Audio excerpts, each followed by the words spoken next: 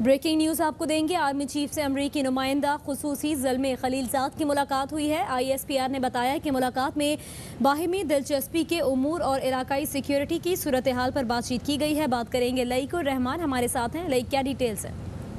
جی پاکستان کے دورے پر آئے ہوئے امریکی خصوصی نمائندہ برائے افغانستان مفاہمتی عمل ظلم خلیلزاد جی ایچ کی راول پنڈی پہنچے ہیں اور army chief general Qamar Javed Bajwa کے ساتھ ایک تفصیلی ملاقات کی ہے۔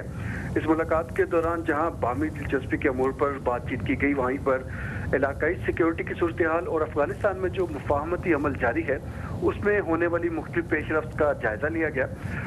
ظلم خلیلزاد کی طرف سے خاص طور پر پاکستان کا شکریہ ادا کیا گیا کہ افغانستان میں مفاہمتی عمل کے لیے جو پیش رفت ہو رہی ہیں، اس میں پاکستان کا کردار قابل قدر ہے اور خطے میں دیر پامن استحکام کے لیے بھی پاکستان کی جو کوششیں ہیں، وہ قابل تحسین ہیں۔ جی۔